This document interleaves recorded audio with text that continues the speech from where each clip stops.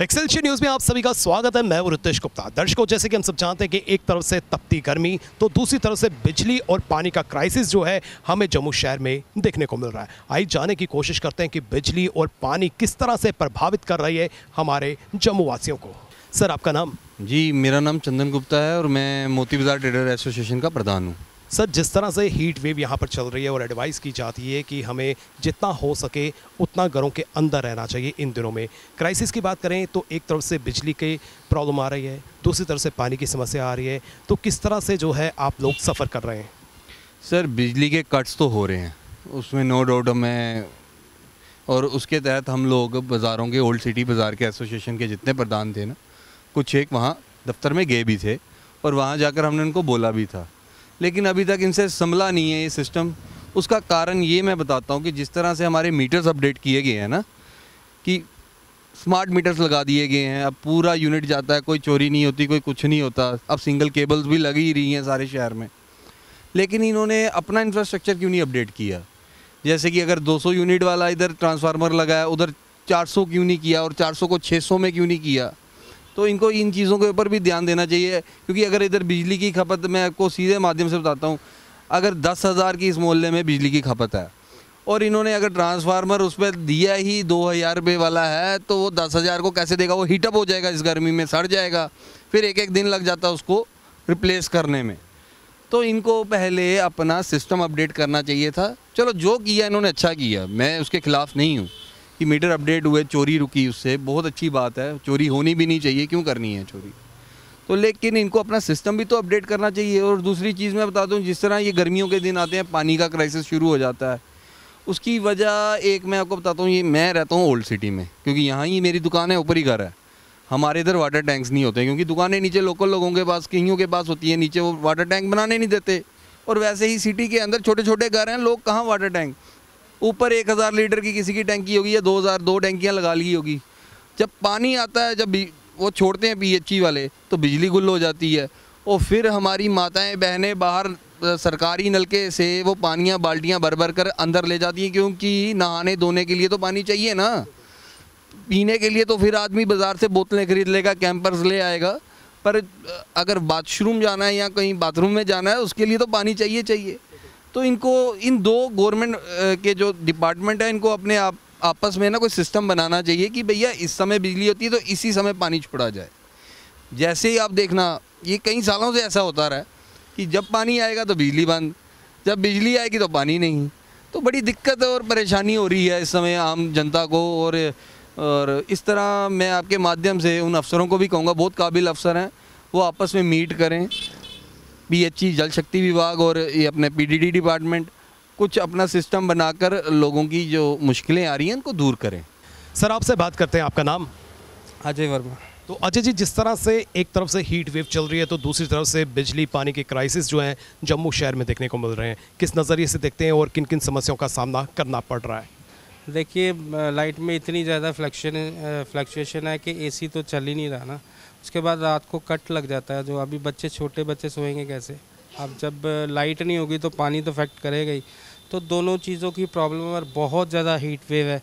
ये तो आप फ़ील्ड में रहते हो आपको ज़्यादा पता है और ये मार्केट में थोड़ा ट्रैफ़िक का भी दिक्कत है बहुत ज़्यादा।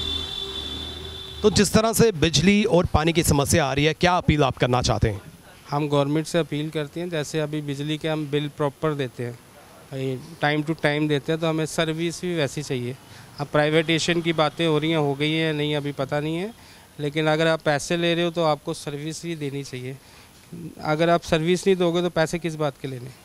तो बहुत गर्मी है रिक्वेस्ट यही है कि बिजली इन दिनों कम से कम आप कट ना करें। और फ्लक्चुएशन जो आ रही है, सत्तर पे आ जाती है और दो सौ पे आ जाती है, उससे क्या होता है एसी ट्रांसफार्म सब जल जाते हैं। तो जब ये चीज़ें जलेंगी तो पानी सबसे ज़रूरी चीज़ है आज की डेट में नहाना पीना सबके लिए। तो फ्लैक्चुएशन से पानी तो आप समझदार हो पानी चढ़ेगा कैसे? मोटर जल जाती है। तो ये सारी चीज़ों की दिक्कतें तो सिटी में हैं ही हैं। चलिए आपसे बात करते हैं आपका नाम। अर्षित जैन। तो जिस तरह से गर्मी बढ़ रही है गर्मी के कारण कई तरह की समस्या भी आ रही हैं। क्या समस्या जो है आप फेस कर रहे हैं?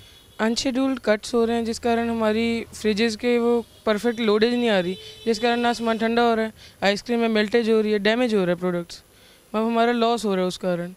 तो कूलिंग भी नहीं हो रही, अब फ्लक्चुएशन के कारण अप्लाइंसेस भी ख़राब हो रहे हैं। ये सब आ रहे हैं, पानी की दिक्कत भी आ जाती है, क्योंकि फिर मोटर वगैरह नहीं चल रही। ये सब दिक्कतें आ रही हैं कुछ। तो गवर्नमेंट से आप क्या अपील करना चाहते हैं?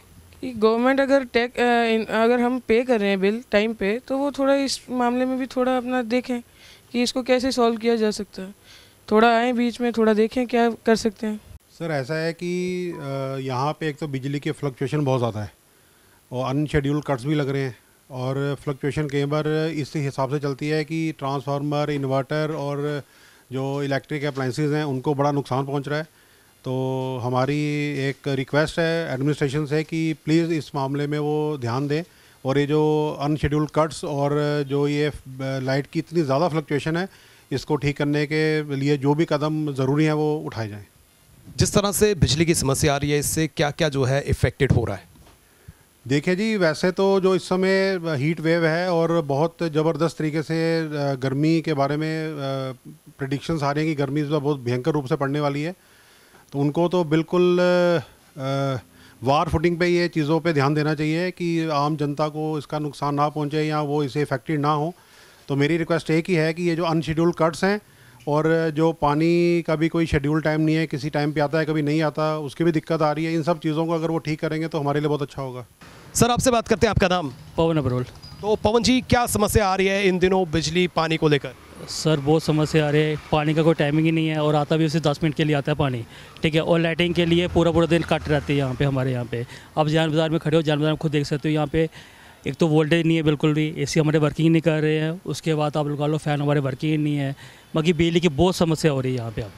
और जैसे कि हीट वेव चल रही है और लोगों को एडवाइस की जाती है कि अपने घरों के अंदर जो है उन्हें ज़्यादा से ज़्यादा समय जो है रहना चाहिए। अगर बिजली नहीं होगी तो वो कैसे रहेंगे?